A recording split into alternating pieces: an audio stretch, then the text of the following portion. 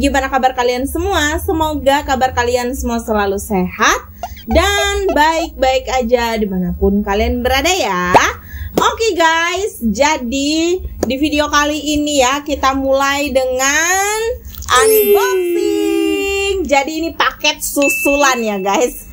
Setelah paket yang kemarin yang terakhir kami unboxing, uh, ternyata masih ada paket lagi kata Mbak Nataya. Berat ini. Iya, ini kayaknya lebih berat dari yang kemarin ya. Jadi ini paket susulan, pengirimnya masih sama dari Mbak Nataya. By the way, kiriman dari Mbak Nataya yang sosis kemarin guys, Habis. habis sudah. Tinggal ada. toplesnya sama bungkusnya doang. Saya yang ngabisin. Dia yang Yuk, habisin buka, ya. buka, buka. Oke, langsung aja kita unboxing.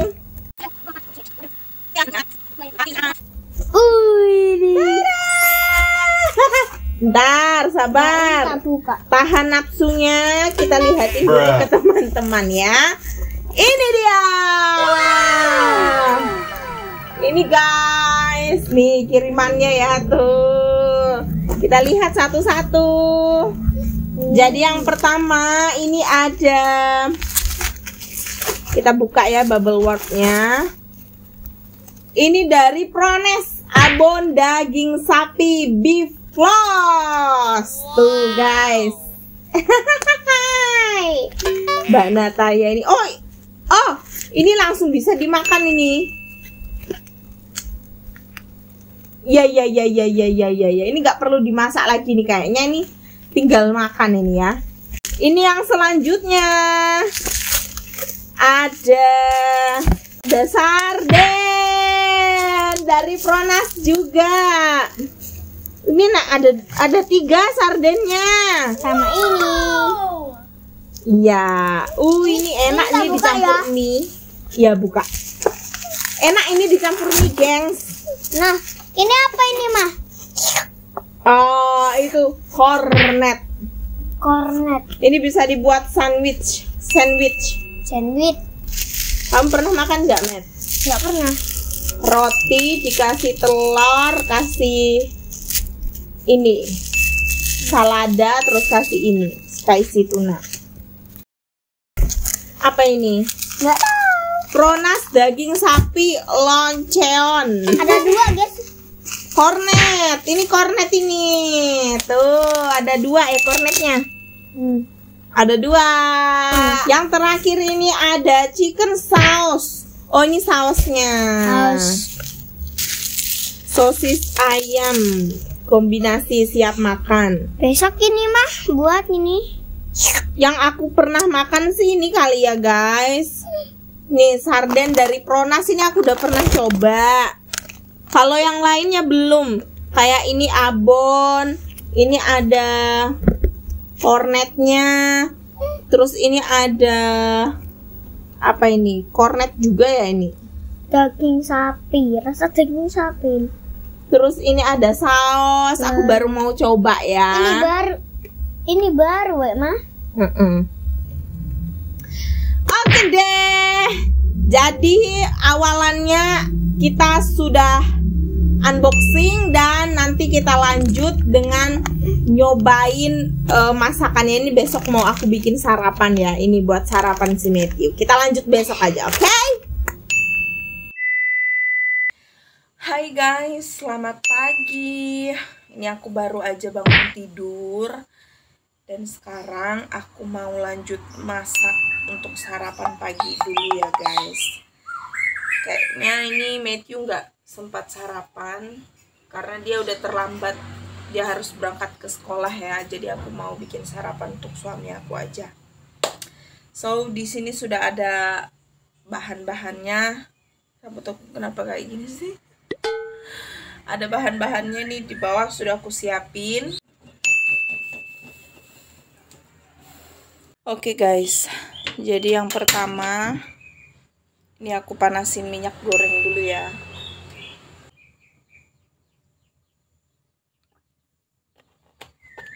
Kita tumis bawang merah sama bawang putih ya. Karena ini minyaknya udah panas.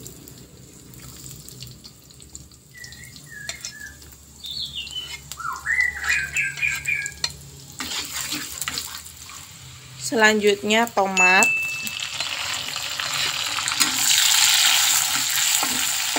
Setelah tomat, kasih masuk sarden. Aku pakai sarden yang dikasih Mbak Nataya. Baru di unboxing tadi malam ya guys. Nah. Selanjutnya ini kalengnya kita kasih air ya. Airnya kita tuang ke dalam masakan.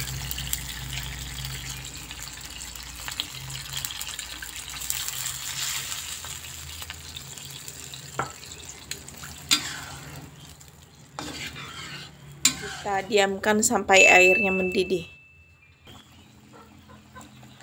Oke airnya sudah mendidih. Kita kasih mie goreng ya.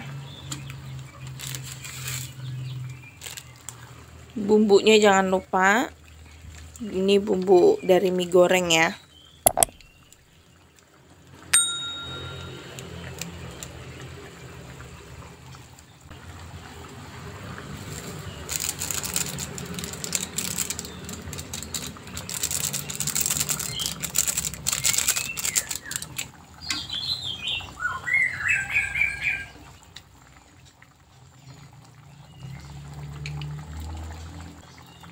kasih lada bubuk.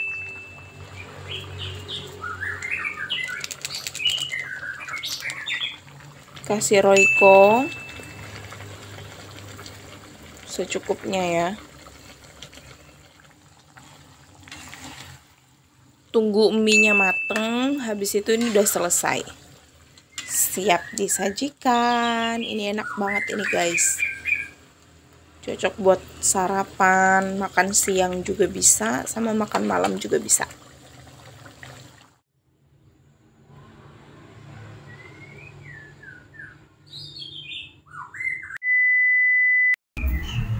Enak? Nggak asin? Sadarnya masih anu, ikannya masih lah. masih guys kita sarapan dulu Ya kamu tutup kucing, nanti. Masih panas ya? Tetap aja dia bisa naik.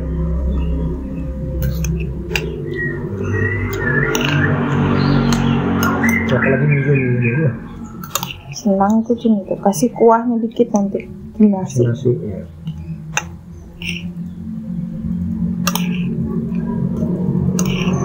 Hei, lama banget nggak sarapan kayak gini ya yang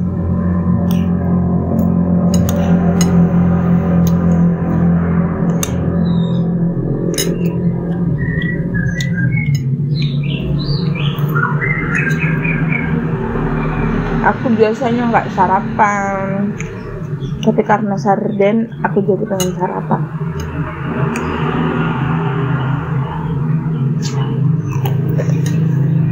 Hmm, baru dibilang. Hmm, habis bilang coba dicek loh. enggak dia nyari sumbernya itu nunggu dia. Ada kucing. Di belakang kamera. Hmm, enak sekali. Mau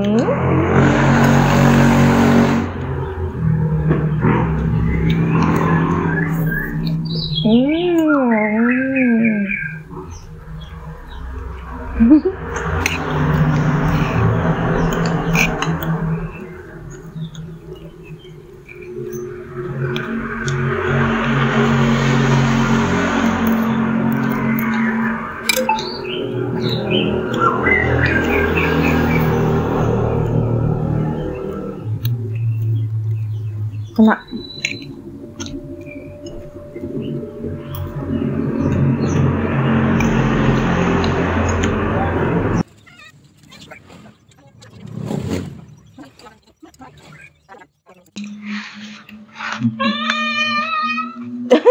Ngikutin ya, Pak?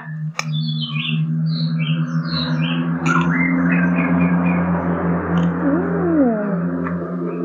Ini enak banget ini guys. Sarapan kayak gini. Ini kebiasaannya orang Kalimantan ya. Sarden dicampur mie. Hmm.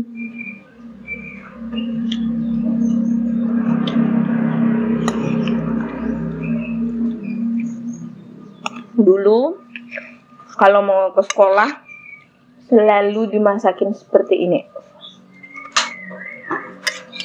Mama yang masak kayak gini.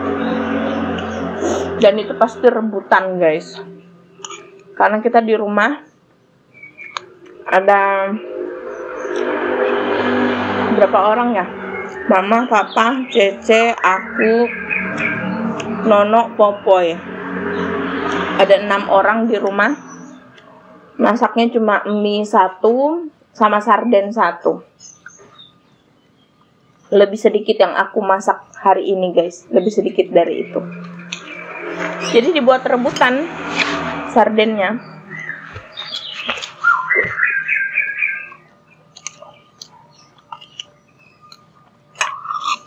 kadang udah diporsi sedikit-sedikit gitu biar semuanya kebagian